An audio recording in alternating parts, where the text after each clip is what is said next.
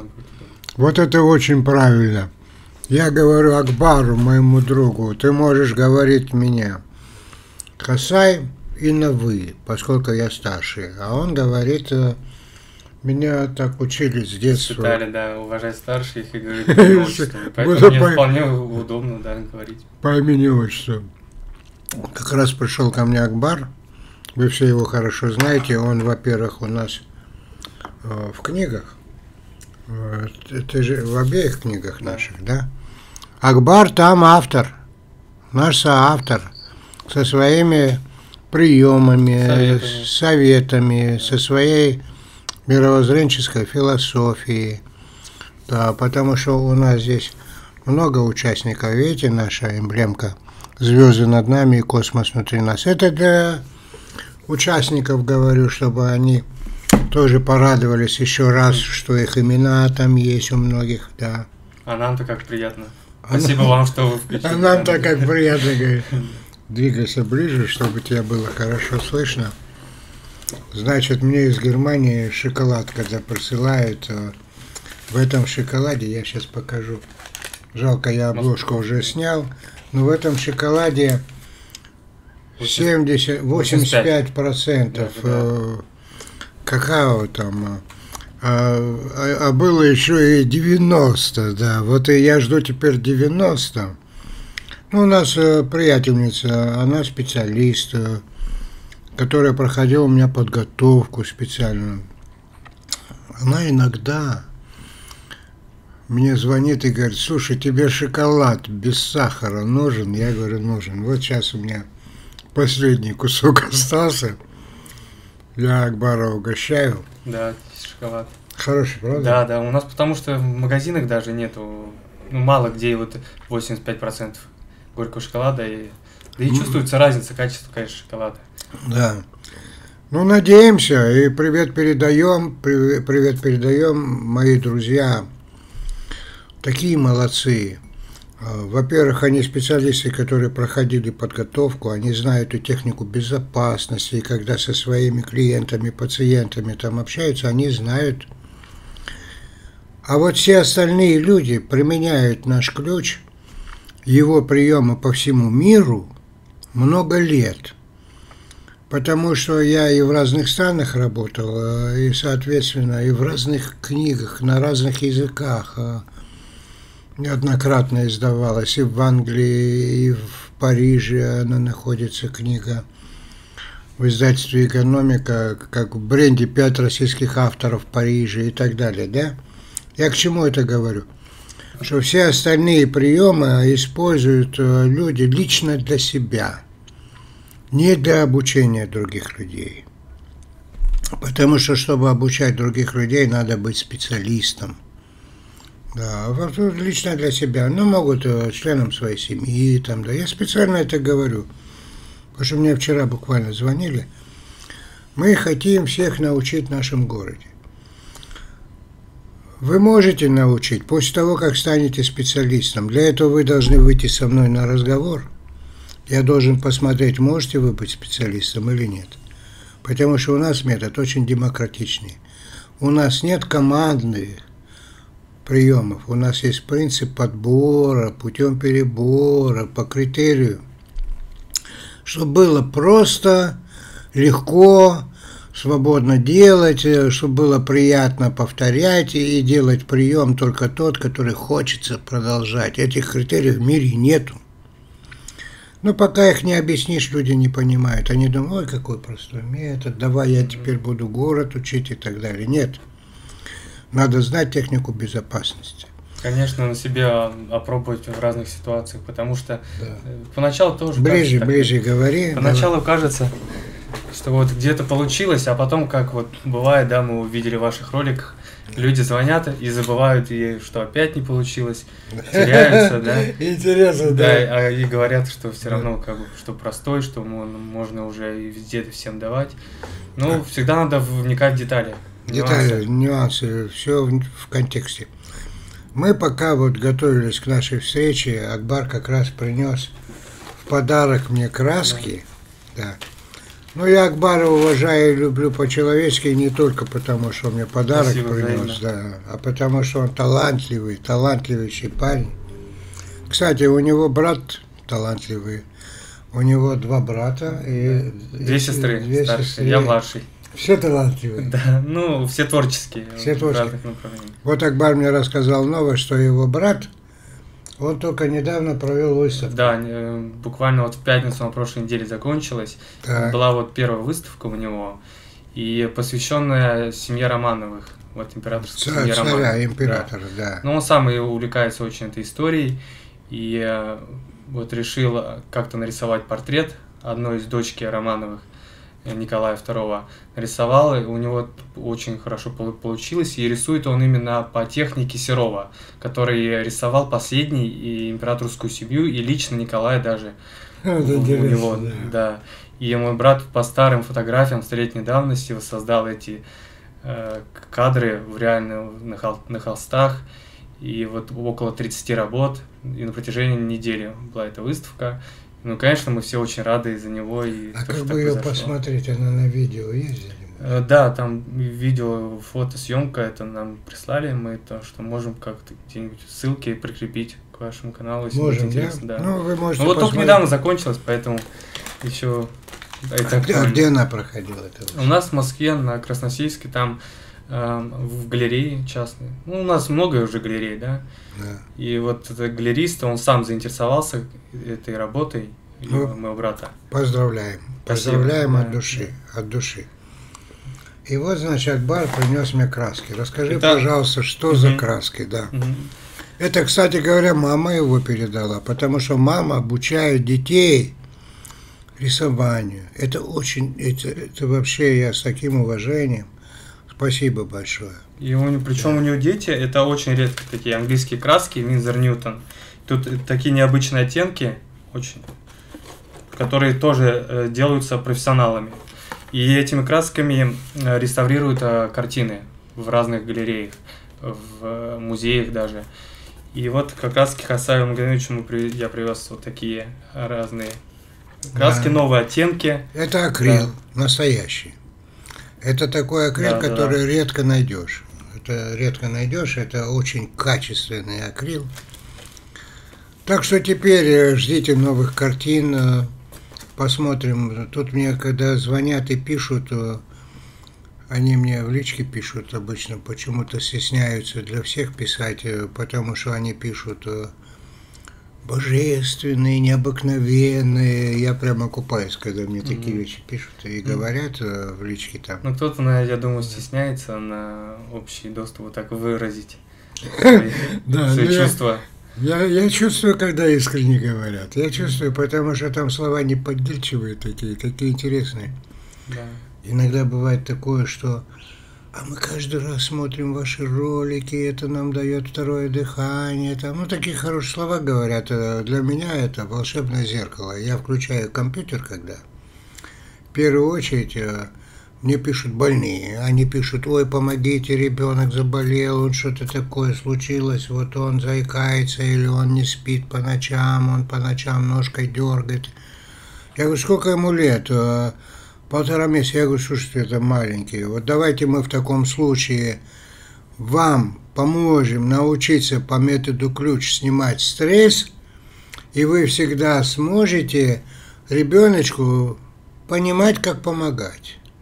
А вот он подрастет немножко, но мы же со школьников, э, вот у нас в школьном учебнике для 10-11 классов наш метод ключ, это учебник профессора Матвеева, кто не знает, для физической культуры. Анатолий Петрович учебники делает э, это, в образовании. Очень уважаю этого человека, потому что это же так проверить все надо, столько раз надо проверить, чтобы в учебник что-то вставить. Да, и вот э, с 10-11 класса, пожалуйста, ну, можно с 8 класса, как я раньше делал, вот у меня есть э, азбука саморегуляции для детей, их родителей и педагогов, которую Это мы делали. возраст, да, был? Да, там было первый, второй класс, Мгм. да, ну, и чуть выше. понятно.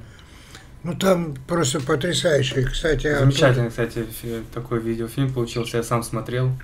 От, Очень от, интересно. Оттуда я хочу показать э, э, мальчики и девочки, которые обучались тогда, они вот у меня на обложке книжки. Вот она девочка, да, делает левитационные приемы и диарефлекторные. Это уже не механические приемы. У нас там механические приемы повторяемые – а, и приемы левитационные. Это была книжка издана в 96 году. Защита стресса, и, и там внизу написано «Как сохранить и реализовать себя в современных условиях». Она и сегодня актуальна. Да, чтобы как сегодня сохранить в этой неопределенности сохранить, открыть у себя творческие качества и способности, потому что чем больше вы открываете свои творческие способности, чем больше у вас любимых дел, досуг, когда шире, разнообразнее, вы тем устойчивее. Это, это, это вообще точки потрясающе. Опоры. Да, это правильно.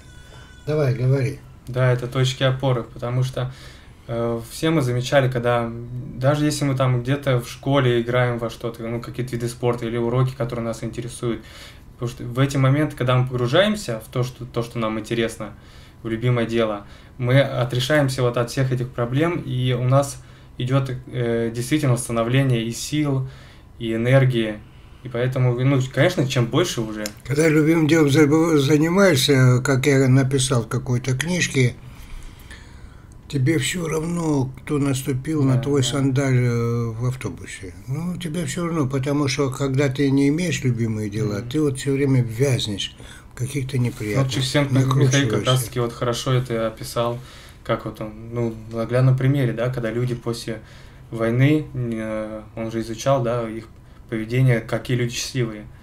И вот как раз-таки те, кто, у кого любимое дело, им было все равно там, сколько они зарабатывают, да, как дальше там жить, не знали там, да.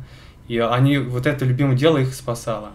И даже вот э, я вспомнил книжку еще э, психолога одного, э, не, Фрэнк, не помню, «Скажи жизни да». Это психолог, который попал в концлагерь во время э, Великой Отечественной войны. И он... Ты Франкла? Да, да, да, да, да. Вот тоже же история. Там люди вот в, в концлагере, да, там вообще невозможно выжить, там их ничем не кормят не поет. И, и он тогда понял, что где-то через год нахождения там, что э, когда он уже хотел покончить с собой, он вспомнил, что у него есть незавершенный труд. Вот то его любимое дело. Да, и он понял, что он именно там уже в лагере начал его продолжать дописывать, э, придумывать э, новое, новое, и это он понял, что это именно его ему помогает идти дальше до конца. И ему, конечно, он выжил, он написал эту книгу, и он хотел даже ее сначала выдать э, без... Вы слышали, да, что он не хотел авторства писать? Нет, То есть это, под это псевдонимом. Знаю, это да, и вот я читал, он под псевдонимом хотел это выдать, ну и потом ему редакторы посоветовали все-таки оставить имя, чтобы, ну, не думали, что это какая-то выдумка, ну, чтобы знали, что это реальная жизнь. Поэтому, когда вы берете приемы по методу ключ, как и в йоге, их название надо сохранить правильно. И хлест, да.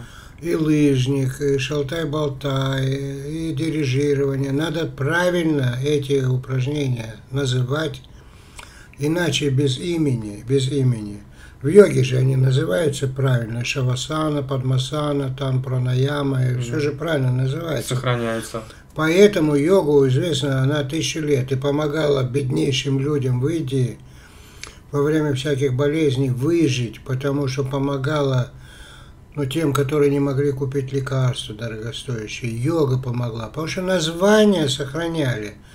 А у нас часто, к сожалению, бывает, берут э, хлест и называют там обнимашки там или что. Ну какие обнимашки?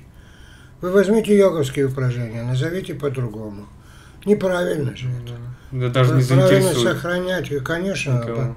Это ответственность. Имя да, это да. ответственность имя, название упражнений – это ответственность, и имя автора. Поэтому Франклу предложили, давайте угу. авторство сохраните, потому что все будут знать, кого ругать и кого хвалить, и кому обратиться с вопросом. Да. да. Так что авторство тоже надо обязательно называть. Есть метод Шульца, аутотренинг, метод Бейса для зрения, метод Фрейда, психоанализ, метод Юнга. Все же имена есть же. И поэтому эта узнаваемость, э, это как раз таки дает возможность э, и другим людям обсуждать этот предмет, потому что когда без имени что-то, тогда mm-hmm. непонятно, о чем mm-hmm. они говорят. Правильно? Mm-hmm, да. Так что, друзья, это очень важно, да. Наш разговор очень важный получился. А теперь давай поговорим, почему люди все время наступают на свои грабли. Почему люди не сравнивают? Вот и почему только человек, э, познавший опыт, э, может понять. Вот, например, мне звонят, э, допустим, человек звонит из Красноярска или там звонит из Нью-Йорка и говорит, слушай, у меня такая проблема, я в баскетбол играю, не могу, как раньше, закидывать мяч, у меня что-то с плечом, да? И вот он меня будет ночью, ну, во-первых, разное время, да. А будет, э, во-первых, когда прежде чем звонить, надо писать э, сначала. Я увижу, я отвечу, а потом можем разговаривать. Это во-первых. Потому что я уже который раз об этом говорю. Во-вторых, у меня, говорит, плечо болит, и я не могу, как раньше, размахнуться. А я, я вот смотрю на него, и он меня разбудил. Я инвалид, а у меня там операция семь с половиной часов. Я пять лет не выхожу из комнаты. Я, помогая людям в любимом деле, спасаюсь. А, и рисую, и пишу, и учу чемпионов мира, и учу там писателей снимать лишнее напряжение, чтобы шаблоны снимать. И в этот момент я думаю, я пять лет не выхожу из комнаты, потому что тяжеленный инвалид, а этот человек звонит мне оттуда, разбудил меня без предварительного ну, не написал, и говорит, ты знаешь, вот меня очень волнует, и я там не могу немножко так забивать мяч, как я на него смотрю и думаю. Не потому, что он меня разбудил, боже ты меня упаси, Дело не в этом. А дело в том, что он не может сравнить, потому что он, когда не был в таком положении, он счастливейший человек, потому что он не инвалид. Слава тебе, Господи. А когда счастливые моменты, мы часто не ценим. Не ценим. Пока что-то не Поэтому молодые, как говорится, если бы знали, старые, если бы могли. Ну, пословица такая. Да. А, так вот, как, как теперь быть? Э, ну, во-первых, я показал этот учебник не случайно, а потому что надо в школах это распространять, не только иметь учебники, а надо, чтобы все педагоги знали, чтобы дети и взрослые знали. Поэтому, когда у нас ликбез бесплатный происходит, делитесь этим объявлением со всеми – чем больше людей войдет, тем больше людей узнают приемы для личного использования, чтобы сдавать экзамены на лучшие, чтобы перед выступлением могли себя так поднять, э, чтобы делать шедевры могли, открывать творческие способности могли, потому что человек болеет от нереализованности, потому что человек по природе творец – и если он не занимается открытием своих способностей, вот этот могучий потенциал, если он не реализует, он болеет. Это же мощнейший потенциал эволюционный у него сформированный. Это же серьезная тема. Все болезни от того, что человек не реализует себя. Поэтому он и пить начинает, и лекарства пьет поэтому. Ну, это очень много, это, это целая тема. Но сейчас я хочу сказать, почему мы наступаем все время на свои грабли. Во-первых, мы не сравниваем. Угу. Как не говорится, сытый голодного не уразумеет. Угу. Есть такая пословица народная, э, что человек, который не испытал тяжеленные стрессы, не знает, что это такое, потому что мне одна девочка написала, а что это такое стресс, вы что-то себе придумываете. Она просто не в курсе. Счастливая девушка. Ну, можно она это по-другому называет, ну. потому что название тоже надо определять. Ну, да. А вот теперь э, Акбар мне, когда я ему об этом сказал, почему мы все время на свои грабли наступаем, он говорит, интересно, у меня, говорит, был случай, когда Ну, я... Да, Да, вы говорили про парня, который говорит, что сейчас не, не может забивать так, как раньше. Э, и, Ну, про баскетбол, да, я так понял? да, да. Я просто тоже в баскетбол вот играю давно, вот с детства уже. И всегда нормально, без травм, все хорошо получалось. Ну и пока вот однажды было, как, было соревнование, и команда наша проигрывала, и я немного так разозлился и на, на свою команду, и на соперников, потому что наша команда раньше времени сдалась, а я всегда старался так вот идти до конца, до последнего. И вот я так погрузился в эту игру с таким раздражением на других, на себя, то, что так меньше очков забил. И вот играю, играю, и потом получаю очень серьезную травму лодыжки, которую вообще ну, я даже не представить не мог, что мог получить. Ну и потом поехал в травмпункт, сижу в травмпункте и начинаю вспоминать, как так я на ровном ходу получил эту травму. И понимаю, что вот как раз таки из-за того, что я вошел в такой транс, из-за э, эмоций, раздражительности, из-за этого сильного желания победить любой ценой, я вот перестал контролировать свои движения, и они стали у меня такие... Ну, Чу- Чувство меры. да, да. Получил эту травму. И вот, э, сидя там в травмпункте, я это понял, и сразу у меня как бы сложилась э, эта ситуация. Я это сразу понял, что надо и ценить и обычные моменты, когда хороший, когда игра получается. Ну, потом вот, правда, через полгода я забыл уже об этом, когда нога восстановилась, и как-то я были соревнования еще одни, и я опять, похожая ситуация была, На тоже проигрывали. грабли опять. Опять наступил на свои же грабли, да.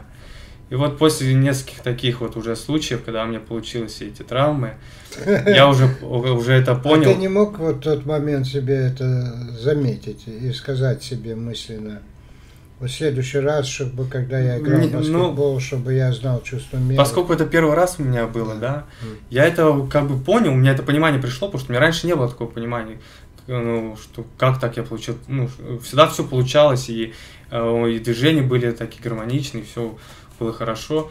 И тут эта травма как на ровном ходу, просто я бежал и вот на ровном ходу споткнулся и очень серьезно себе голеностоп растянул. То есть я месяц прям лежал.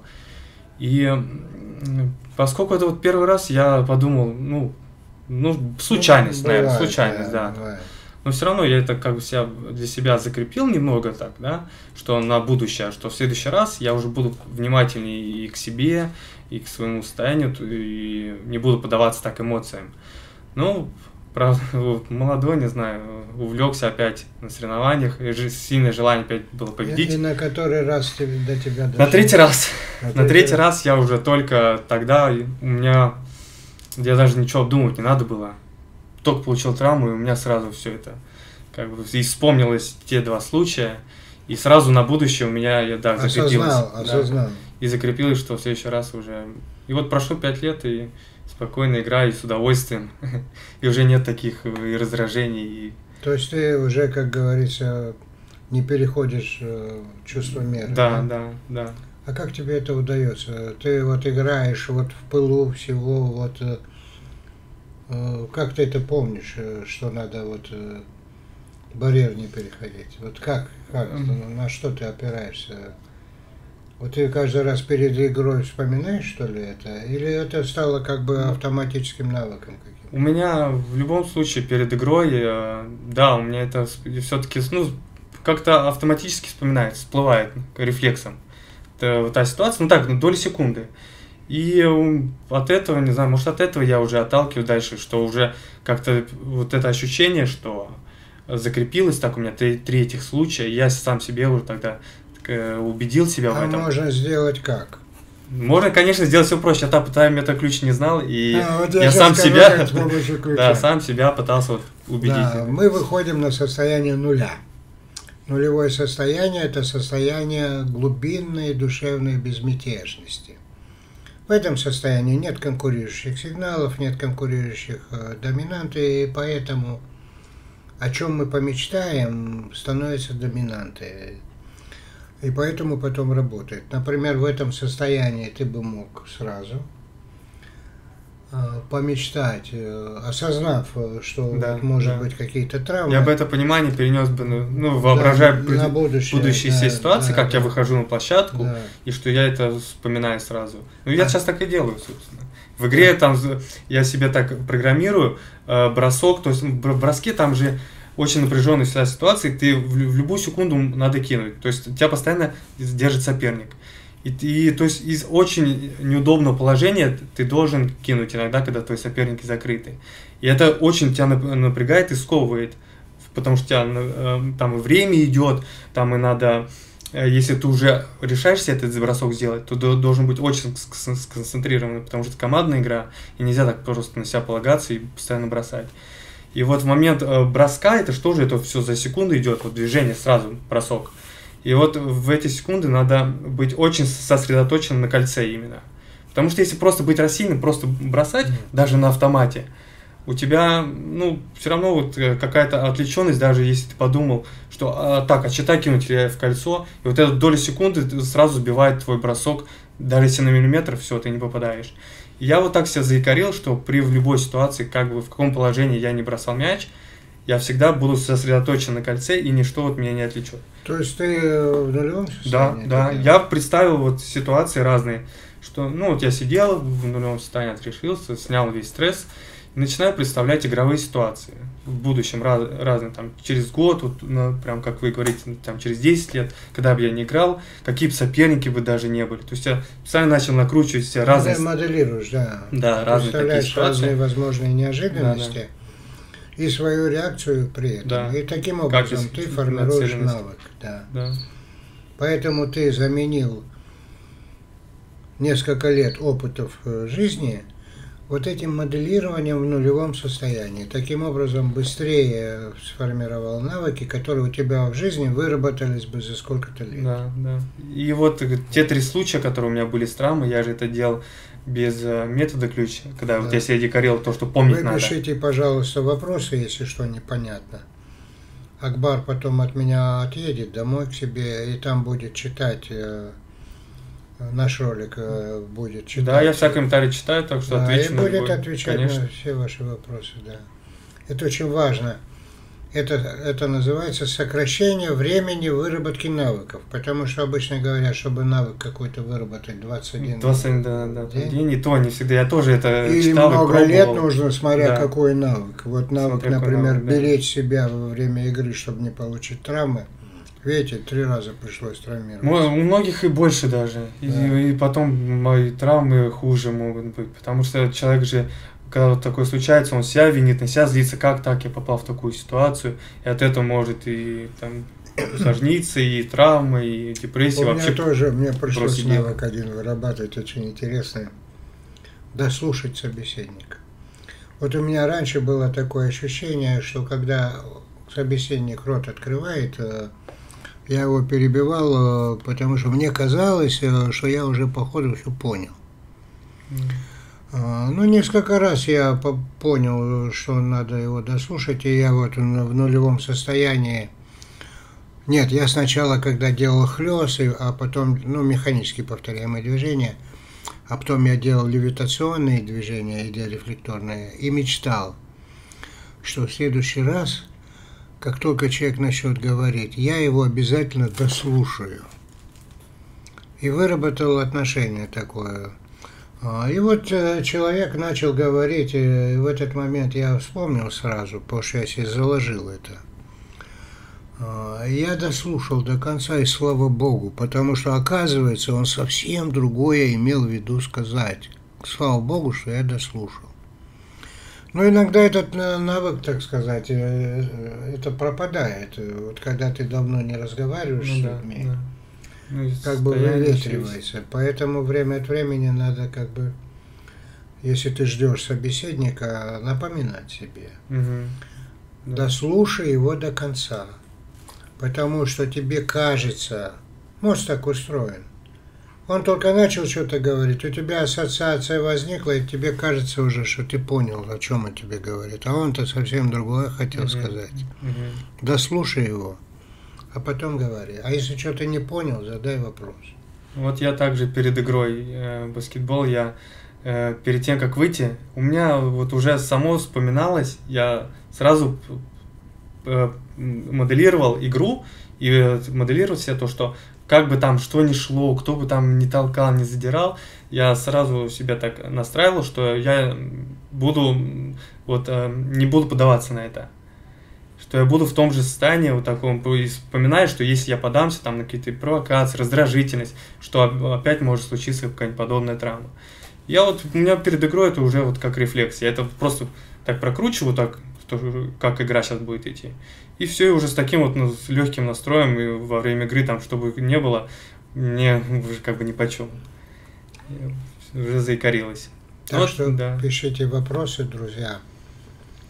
Сегодня век интернета мы с Акбаром можем по вашему настроению, будет у вас желание такое, вопросы, если будут, сделать встречу и не только у меня. Мы можем сделать и в интернете встречу, мы можем сделать и на ликбезе встречу на бесплатном, мы можем сделать встречу и на вебинаре платном. Теперь кто-то спрашивает меня, чем отличаются бесплатные ликбезы от вебинаров. На вебинаре идет проработка по теме, которая по вебинару. Проработка до выработки навыков, чтобы человек после вебинара по объявленной теме мог использовать выработанные на вебинаре и в домашнем задании после него навыки в течение всей своей жизни. Это первое. На ликбезе, в первую очередь, мы помогаем тому, кому плохо. Ну, кто-то выходит, я всегда спрашиваю обычно, кому хуже всех. Кто-то говорит, я. В Zoom выходит, мы ему помогаем по методу ключ. Это, это очень быстрая, скорая, экстренная помощь, э, снять стресс.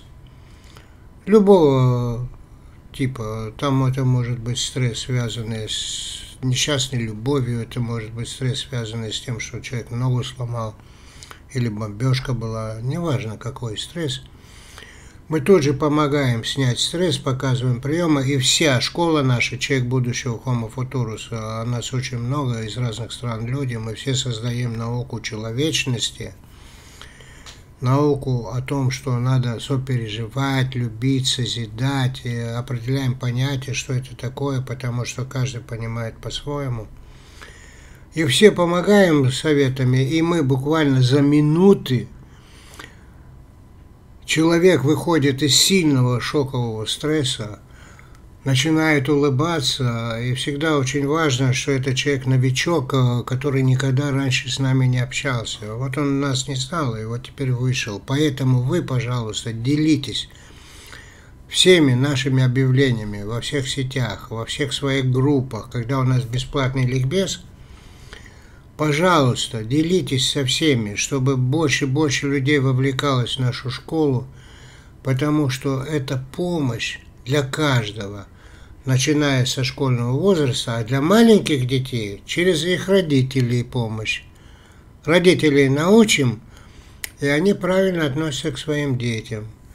Да, друзья. Так что вопросы пишите и делитесь со всеми. Акбар, хочешь что-нибудь сказать? Да, я хочу сказать, что занимайтесь любимым делом, э, цените... И чем их больше, тем лучше, да, тем да. устойчивее, да. И цените это, замечайте эти моменты, чтобы была возможность сравнивать потом в разных э, ситуациях, э, в разных состояниях, когда вы находите, находитесь, что у вас были счастливые моменты и что почему они произошли. Обращайте внимание на себя в таких ситуациях, и когда вы в стрессе, и когда вы счастливы что вот как раз-таки уметь сопоставлять, сравнивать. И градусник напряжения, да. шторм и штиль. Да, когда вы будете в каком-то состоянии, в каком-то событии, мысленно представьте себе, на каком вы сейчас уровне. А здесь 10. Это 10, это когда плохо. Штиль – это когда безмятежно.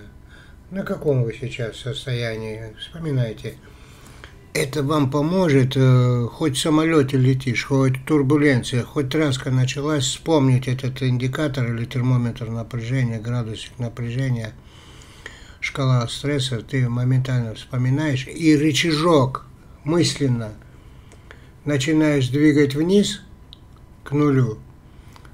это все равно как будто бы ты принял таблетку снотворного, успокаивающего. Там другие, кто-то коньяк пьет, кто-то таблетки сразу, а ты вот так вот сделал. И смотришь, и заснул. И проснулся, когда посадка. Да, друзья? До встречи. Пишите, пишите, пожалуйста, вопросы, пишите пожелания. Да, и делитесь друг с другом о том, что у нас скоро ликбез. Через пару дней. Объявление Отлично. будет в сетях. Всего доброго.